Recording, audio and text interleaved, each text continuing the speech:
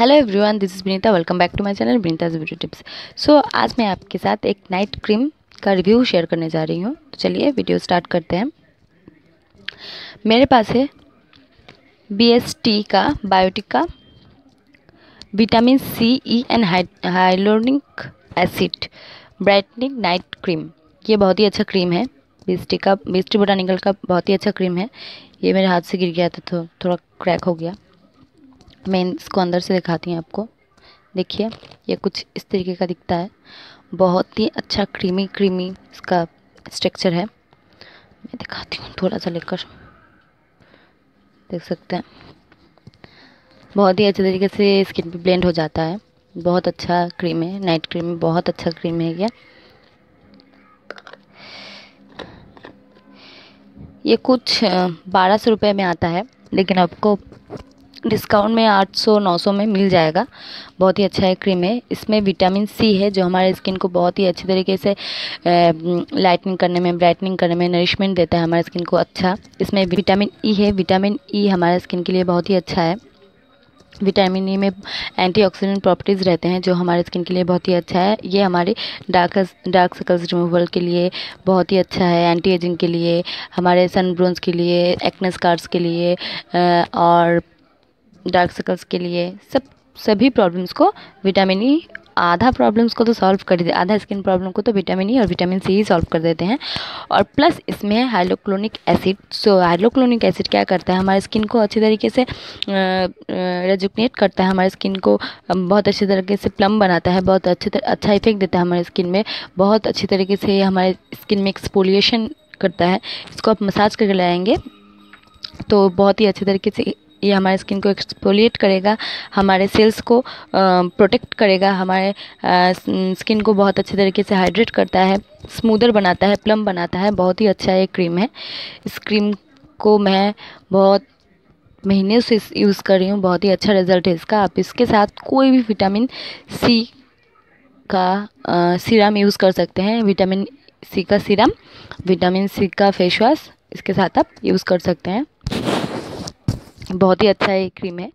और इसकी सबसे अच्छी बात मुझे ये लगी कि इसको यूज़ करने से सारे आपके डार्क सर्कल्स भी चले जाएँगे। आपको अलग से कोई अंडर आई के लिए कोई भी अलग से आपको क्रीम या सीरम यूज़ नहीं करना पड़ेगा। आपके एंटी एजिंग अगर होंगे, आपके बहुत सारे रिंकल्स हो जाते हैं आँख के नीचे या आँख के पास माथे पे अगर हो जाती हैं नेक माथे पे हो जाती हैं, होठ के नीचे अगर ऐसा कुछ है विंकल्स है बहुत सारे तो वो भी हट जाएँगे। आपके एंटी एजिंग की प्रॉब्लम पूरी तरीके से ख़त्म हो जाएगी, आपके डार्क सर्कल्स की प्रॉब्लम्स पूरी तरीके से ख़त्म हो जाएगी। अगर आपका सनब्रोन हो गया है अगर आपका एक्नेस कार्स है तो उसका भी, आप, इसका भी, इसको भी ये पूरी तरह से रिड्यूस कर देता है। बहुत ही अच्छा क्रीम है, आप इसको यूज़ करके देख सकती हैं। और ये, मैं ये तो नहीं कहूँगी कि पॉकेट फ्रेंडली है, लेकिन हाँ ये बहुत ही अच्छा क्रीम है, आप इसको यूज़ करके एक बार देख सकती हैं। इसका स्ट्रक्चर भी बहुत अच्छा है, और बहुत दिन तक आपको चल जाए, चल जाएगा। मैं इसको चार, नहीं नहीं, चार, नहीं। छः महीने से यूज़ कर रही हूँ अभी भी ख़त्म नहीं हुआ है। मैं कंटिन्यू छः महीने से इसको यूज़ कर रही हूँ, बहुत ही अच्छा है। अभी भी आधा बचा हुआ है, आप देख सकते हैं। देखिए, अभी भी आधा बचा हुआ है। आधा से थोड़ा कम, लेकिन बचा हुआ है। अभी भी ये तीन महीने तक या दो महीने तक आराम से चल जाएगा। मैं इसको इतना इतना क्वांटिटी में लेती हूँ।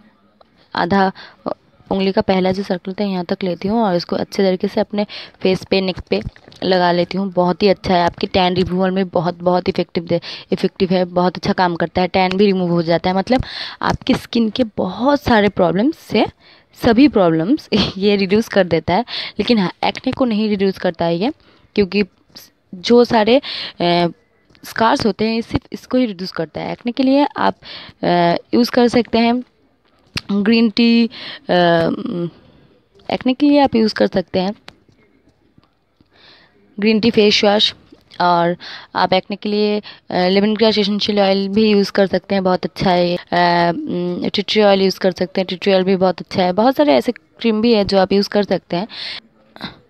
लेकिन एक्ने के लिए मैं यूज़ करती हूँ रूप मंत्रा का ये जेल पिंपल जेल बहुत ही अच्छा है। एक्ने के लिए नहीं है पिंपल के लिए और एक्ने और पिंपल बहुत ही अलग होते हैं। पिंपल होता है, थोड़ा बड़ा और एक्ने होते हैं। बहुत मुँह पे पूरा फैल जाते हैं एक्ने तो वो अच्छा नहीं लगता बिल्कुल भी। उसके लिए आप हल्दी और नीम का यूज़ किया कीजिए। बहुत ही अच्छा है, बहुत ही अच्छा इफ़ेक्ट देता है।